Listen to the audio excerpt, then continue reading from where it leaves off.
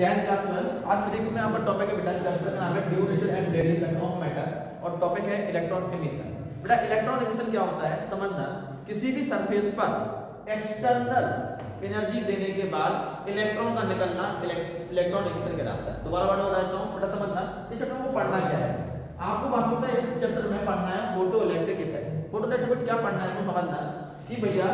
यहां से फोटॉन्स आ रहे हैं यहां से क्या है पहला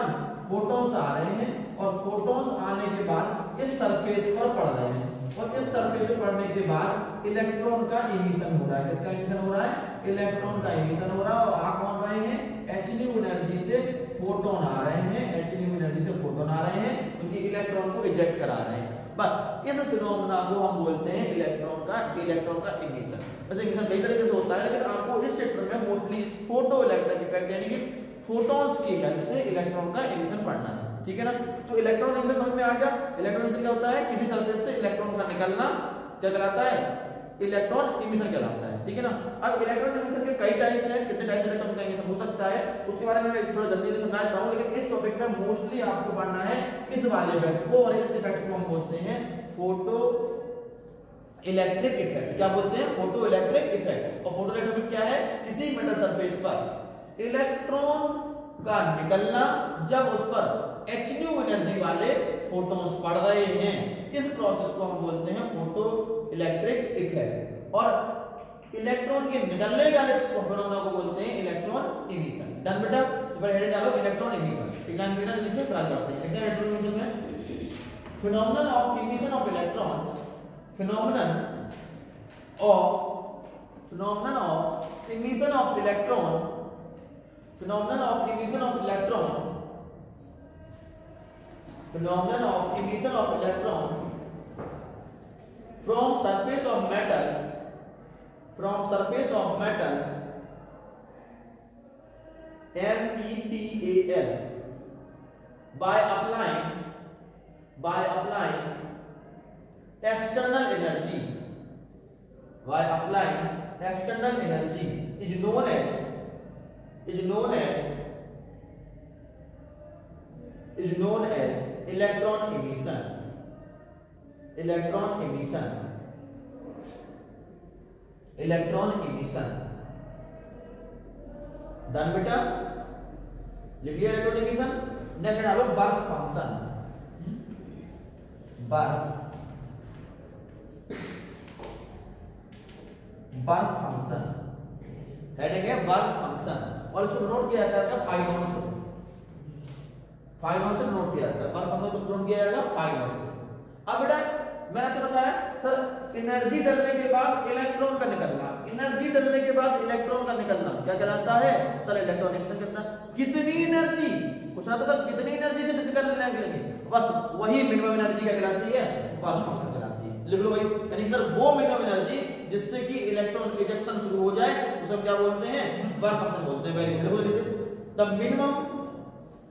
energy required the minimum energy required the minimum energy required The minimum energy required by by an electron by an electron to escape why an electron to escape from the metal surface from the metal surface from the metal surface ठीक है ना from the metal surface then is known bark function और एक note डाल देना एक हजार बार भी एग्जाम पूछा जा चुका है एक नोट डाल देना इसे और नोट में लिखना work function depends on depends on depends on surface surface air surface of matter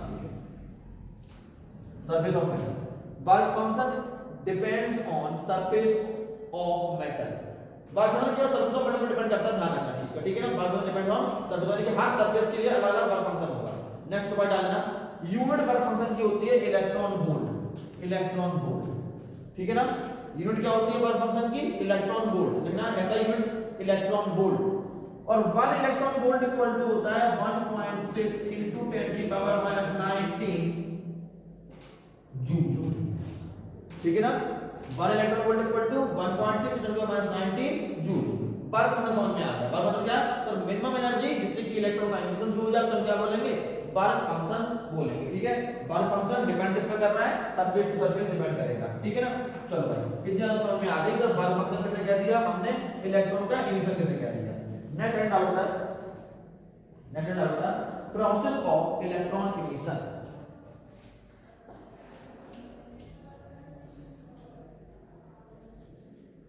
process of process of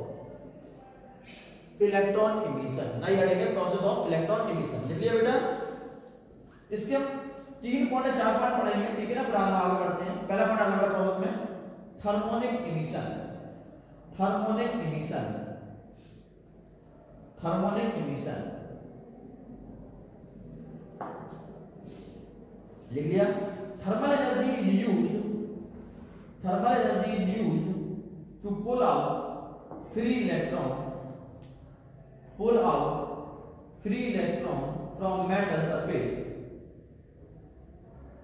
Metal surface is thermal emission. Thermal energy used to pull out free electron from metal surface is thermal emission. दोबारा बोल रहा हूँ thermal energy used to pull out free electron from metal surface is known as thermionic emission done beta चलो भाई अभी वो समझ लेना क्या होता है थोड़ा सा थोड़ा सा थर्मल कंडीशन में क्या हो रहा है एक मेरे पास हॉट मेटल है और एक मेरे पास एक कोल्ड मेटल है ठीक है ना इसको मैंने रख दिया वैक्यूम में और इसको मैंने एक एक्सटर्नल सप्लाई से जोड़ दिया तो मैं क्या देख रहा हूं कि इलेक्ट्रॉन अपने आप मूव हो रहा है कहां से हॉट मेटल से कोल्ड मेटल इस प्रोसेस को हम बोल रहे हैं थर्मोनिक क्या था एक हॉट था और एक कोल्ड था ठीक है ना हमने इन दोनों को जोड़ दिया है इलेक्ट्रॉन कहाँ से निकल रहे हैं हॉट से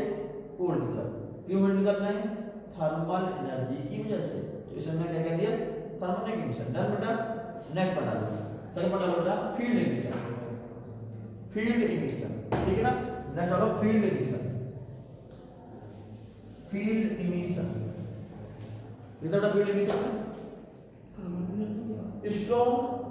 Strong electric field is used. Strong electric field is used to pull out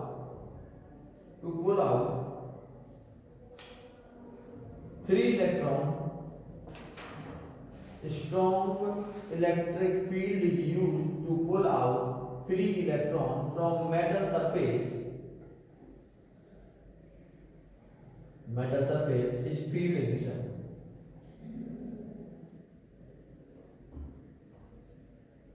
It's field emission. ठीक है इलेक्ट्रिक फील्ड बना ली और इलेक्ट्रिक फील्ड बनाने से क्या हुआ इलेक्ट्रॉन अपने आप भागने लगे तो क्या हुआ इलेक्ट्रॉन अपने पॉजिटिव नेगेटिव को भागते हैं ठीक है ना और इसको हम बोलते हैं फील्ड एमिशन आप सबसे ज्यादा सबसे मोस्ट इंपोर्टेंट क्या होता है फोटो इलेक्ट्रिक एमिशन अब यहाँ से आपका टॉपिक अच्छी तरह शुरू होता है photoelectric emission photoelectric emission photoelectric emission light of light of suitable frequency light of suitable frequency used to pull out used to pull out free electron used to pull out free electron from metals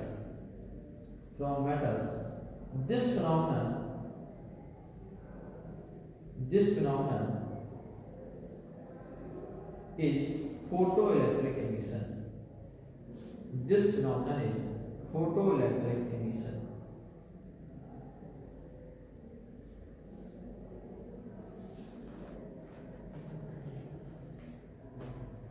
यानी कि photons के पढ़ने के बाद जो है वो उत्तर जाता है आपको डायग्राम वही नाम का पहला वाला यानी आपको क्या पढ़ना था जो मेटल सरफेस है आपकी फोटॉन्स पढ़ रही है ठीक है ना फोटॉन्स पढ़ रहे हैं और इलेक्ट्रॉन्स का एमिशन हो रहा है इसको आपने क्या कह दिया sir this is a photoelectric emission emission इसका डायग्राम बनाइए और फिर इसको आगे बात करेंगे ये एच न्यू एनर्जी पढ़ दो ठीक है क्या है एच न्यू लिखा हुआ है डायग्राम बनाइए और ये कौन सा एमिशन है फोटोइलेक्ट्रिक एमिशन अब इसको मैं डिटेल में पढ़ना और क्या बोला लाइट ऑफ सुटेबल फ्रीक्वेंसी यानी कि उनको फ्रीक्वेंसी सुटेबल होगी उससे कम पे कोई फोटोइलेक्ट्रिक इमिशन होगा ही नहीं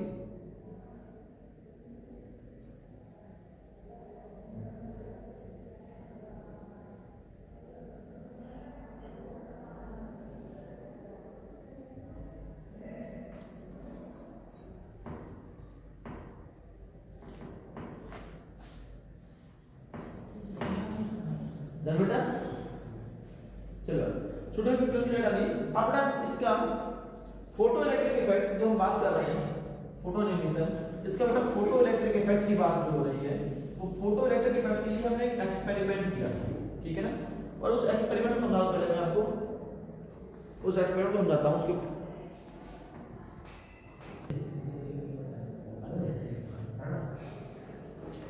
हाँ बेटा में अब आपको बताते हैं फोटो इलेक्ट्रिक इफेक्ट का स्टडी करते हैं तो फोटो इलेक्ट्रिक इफेक्ट की स्टडी करने से पहले मैं आपको उसका एक्सपेरिमेंटल सुना दूं कि वो क्या आता है यहाँ पे बेटा एक वैक्यूम ट्यूब थी बल्बेड वैक्यूम ट्यूब थी जो मैं ट्यूब बना रहा हूँ ठीक है बेटा इस पर एक क्वार्ट की विंडो बना दी मैंने क्वार्ट की विंडो का काम क्या था बेटा मोनोक्रोमेटिक लाइट यूज कर आ रही थी बेटा और एक यहां पर मैंने सोर्स बना दिया जो सोर्स देता जिस सोर्स ठीक है बेटा और एक मैं यहाँ पर कैथोड और एनोड दोनों बना रहा हूँ ठीक है ना मैंने कैथोड बना दिया और एनोड बना दिया हाँ। अब थोड़ा समझना मेरे लाल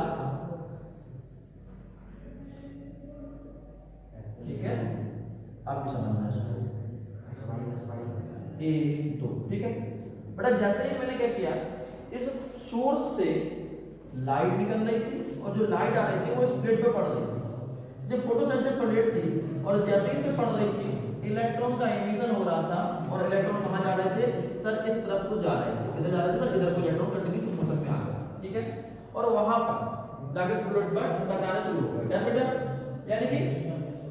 इस कैथोड से इलेक्ट्रॉन निकल के एनोड की तरफ आ रहे हैं ये क्या है संबंध द्वारा से एक सोर्स था सोर्स से फोटोन यानी कि एनर्जी निकल रही थी एच डी के फॉर्म में ये एक मैंने विंडो लगा दी किसकी लगाई क्वार्ट विंडो और क्वार्ट विंडो काम करता ओनली मोनोक्रोमेटिक लाइट को ही एंटर करने दे रही थी ये आपकी एवेपोरेटेड वैक्यूम ट्यूब थी यानी कैसी वैक्यूम ट्यूब जो पूरा पैक्ड है वैक्यूम है इसके अंदर एक आपके पास कैथोड है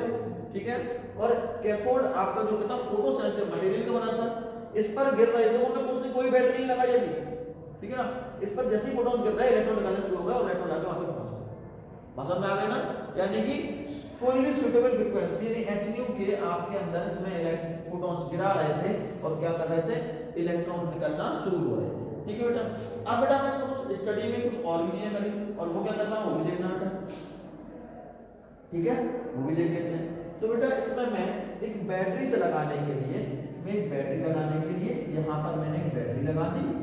ठीक है पावरफुल हाई टेंशन बैटरी लगा दी मैंने ठीक है हाई टेंशन बैटरी लगा देता हूँ यहाँ पे करंट को नापने के लिए मैंने एक बोल्ट में लगा दिया और इस बैटरी को कनेक्ट करने के लिए इसमें यहाँ पर मैं एक रेजिस्टेंस भी लगा देता हूँ ठीक है थोड़ा बड़ा करके लाता हूँ रजिस्टेंस भी लगाना पड़ेगा मुझे इसमें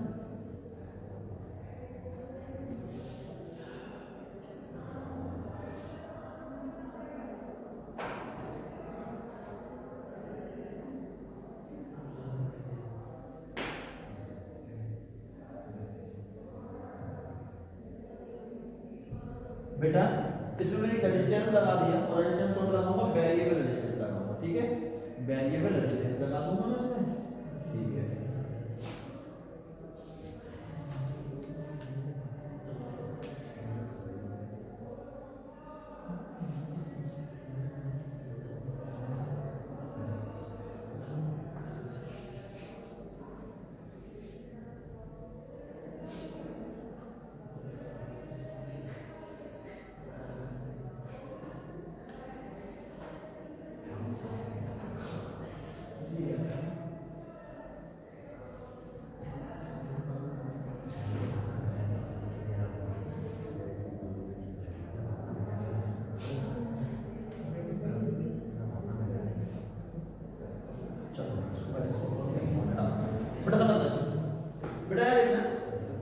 क्या कर रहा हूं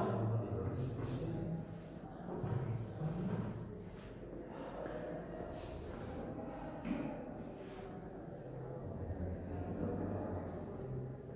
सुनो अब इसको मैं इस तरह से लगाने के लिए क्या कर रखा हूं समझो पहले तो हमारे पास सिंपल से था कि इसमें फोटोन्स यहां पर है फोटॉन्स इससे गिर रहे हैं इमिशन हो रहा है अब क्या करूंगा मैं बैटरी के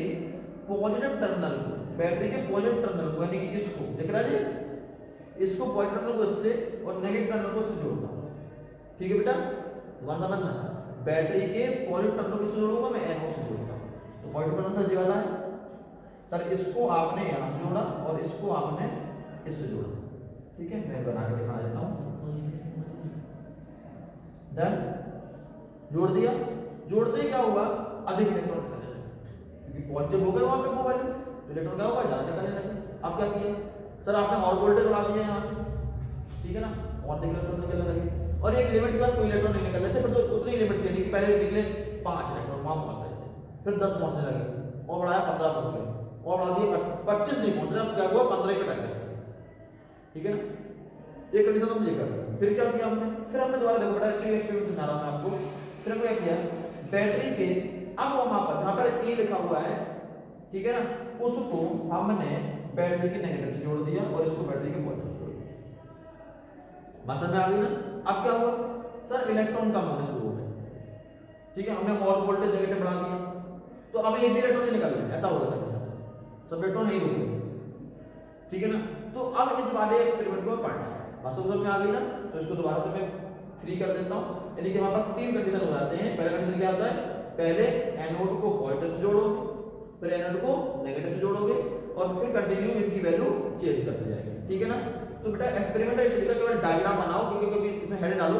experimental study of photo electric effect head डालो experimental study of photo electric effect diagram बनाओ घर पर एलिमिनेशन खुद करना मैं आपको का पॉइंट दिखा रहा हूं वहां से पॉइंट लिस्ट यूज करेंगे डायग्राम बनाओ इसे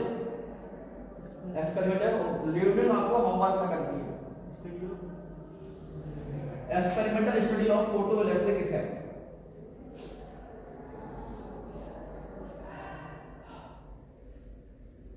Experimental study of photoelectric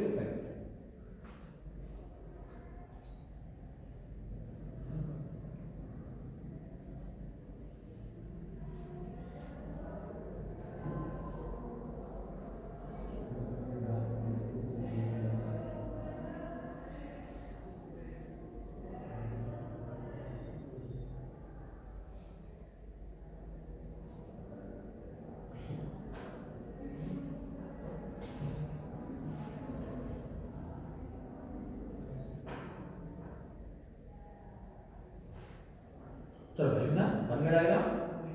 बनाना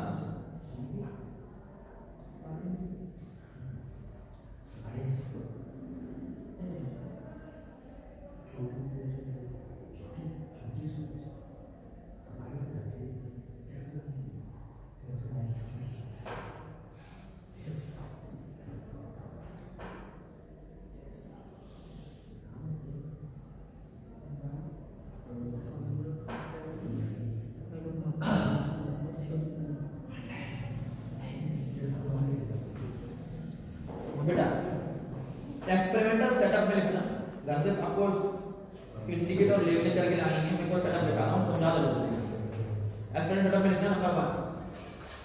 1 वैक्यूम ट्यूब सबको सपोज एग्जैक्टली वैक्यूम ट्यूब कौन सी है वैक्यूम ट्यूब लिख लिया तुमको नहीं दिखाई दे समझना वाला दिस इज वैक्यूम ट्यूब ये वैक्यूम ट्यूब नंबर 2 डालो बेटा number 2 photo sensitive emitter plate emitter plate E M I double D E R photosensitive emitter plate कहां पर है फोटोसेंसिटिव एमिटर प्लेट सी दिख गई सबको ये है फोटोसेंसिटिव एमिटर प्लेट दिख गई इस पे लिखेंगे एरो लगा के अभी मैंने जानू से लिख रहा हूं कर तब भी पढ़ोगे नेक्स्ट थर्ड आओ बेटा collector plate collector metal plate collector collector metal plate कहां पर है वो है बेटा ये ए पर जे वाली ठीक है ना नेक्स्ट देखो नेक्स्ट देखो बेटा monochromatic source S monochromatic source कौन सा है एस लिख लिया एस पता नहीं कहां पर ऐसा लिख रहा मैं लिखता हूं एस हटा देना उसमें लिखेगा नहीं एस ठीक है ना नेक्स्ट बेटा quad window Q U R T Z quad window कहीं खिड़की दिख रही है ये देखो जे वाली क्वार विंडो है इससे केवल मोनोक्रोटिक लाइट ही आ रही है कि मान लो कोई मोनोक्रोटिक नहीं है वो भी इसको मोनोक्रोटिक कर कर यहां पे ओनली कौन सी फॉल करा रहा है मोनोक्रोटिक mm-hmm. लाइट ठीक है ना क्वार विंडो सबको देखो नेक्स्ट आ बेटा बैटरी बैटरी को ढूंढना कहां मिलेगा ठीक है ना लैपटॉप ढूंढना है बैटरी कहां मिलेगी नेक्स्ट आ बेटा वेरिएबल रेजिस्टेंस इसको भी आप घर पे जाके ढूंढना 10th क्लास की बुक निकालना तो ढूंढना वेरिएबल रेजिस्टेंस कैसा होता है वेरिएबल रेजिस्टेंस और लास्ट येतो बेटा अमीटर एंड वोल्टमीटर अमीटर आपसे कैसा लगता है सीरीज में होता है ना सीरीज में कौन सा है और वोल्टमीटर कहां लगता है पैरेलल लगता है तो वोल्टमीटर ढूंढना कहां लगा होगा ठीक है ना अमीटर एंड वोल्टमीटर और आपको घर से उसकी लेवलिंग करके घर से लानी है ठीक है ना बाकी तो मैंने आपको समझा दिया इतना समझा है मैंने अभी आपको होमवर्क में क्या दिया होमवर्क में दिया है कि अमीटर कहां पे होता है ढूंढना है वोल्ट मीटर कौन सा ढूंढना है वेरिएशंस कहां पे ढूंढना है और बैटरी कौन सी होती है ढूंढनी है 10th क्लास की बुक से ठीक है ना चलो वेरी गुड अब आपने हैं इससे एक्सपेरिमेंट तो कर लिया अब इसका कुछ ना कुछ रिजल्ट भी तो निकला होगा अब इसके रिजल्ट के कुछ छह पॉइंट आपको लिखने हैं और छह के छह पॉइंट मोस्ट से मोस्ट ज़्यादा इंपॉर्टेंट है ठीक है ना छह पॉइंट लिखिए ठीक है ना आप लिखना बेटा हैंड डालो एक्सपेरिमेंटल एक्सपेरिमेंटल रिजल्ट और result result R E S U L T of photo electric effect वास्तविकता में एक्सपेरिमेंट लेनार्ड एंड मिल लेनार्ड एंड मिलकर ने किया था ठीक है ना जी एक्सपेरिमेंट किया किया था लेनार्ड एंड मिलकर ने ठीक है ना तो फोटोइलेक्ट्रिक इफेक्ट जो किया था वो लेनार्ड एंड मिलकर ने किया था तो इसके कुछ ना कुछ छह रिजल्ट निकले थे करीब छह रिजल्ट आपको बता देता हूं नंबर 1 रिजल्ट डालिए बेटा नंबर 1 इसमें मोस्ट से मोस्ट प्रोडक्ट डालते हैं जितना डाल सकते हो वो डाल देना इसमें ठीक है number 1 the number of electron the number of electron emit is dependent on is dependent on intensity of light dependent on intensity of light and independent of frequency and independent of frequency independent of frequency दोबारा number बताया number of electrons emitted in is dependent on यानी number किस पर depend कर रहे थे intensity पर depend कर रहे थे जितना अधिक रोशनी आ रही थी जितनी अधिक इंटेंसिटी आ रही थी उससे नंबर ऑफ पर बढ़ा देते लेकिन फ्रीक्वेंसी के ऊपर नहीं पड़ता ठीक है ना डन तो दूसरा ना second law and second law is is second second project 2 डालना number 2 the kinetic energy of electron the kinetic energy of electron is dependent on The category of electron is dependent on frequency of light, frequency of light, and independent of independent of independent of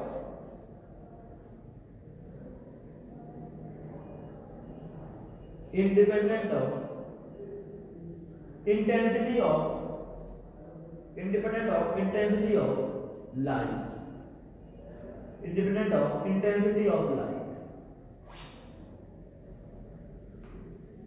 यानी कि जो kinetic energy है वो किस पर depend कर रही है फ्रीक्वेंसी पर फ्रीक्वेंसी बढ़ा तो क्या होगा काइनेटिक एनर्जी बढ़ रही यानी इलेक्ट्रॉन की स्पीड भाग रहा है फ्रीक्वेंसी मतलब तो इलेक्ट्रॉन की स्पीड कम हो रही थी ठीक है ना तो फ्रीक्वेंसी किस पर डिपेंड फ्रीक्वेंसी से क्या बढ़ रहा काइनेटिक एनर्जी किसकी इलेक्ट्रॉन की मोशन की स्पीड बढ़ती जा रही थी असल में आ गई ना चलो चैप्टर पर थर्ड आओ Number third, so we move to the other dot line The minimum frequency required, the minimum frequency required for emission of photoelectrons, for emission of photoelectrons it is called threshold frequency, It is called threshold frequency or or cut off frequency. The minimum frequency required for emission of photoelectron is called threshold frequency or cut off frequency cut off frequency ठीक है ना cut off frequency और इसको denote किया जा रहा था इससे सिंपल म्यू नॉट से डिनोट किया जा रहा समझ में आ गया ना कट ऑफ फ्रीक्वेंसी से डिनोट कर रहे हैं म्यू नॉट से डिनोट कर रहे हैं ठीक है ना तो कट ऑफ फ्रीक्वेंसी और डिनोट किया जाता है म्यू नॉट से डिनोट किया जाता है लिख लिया बेटा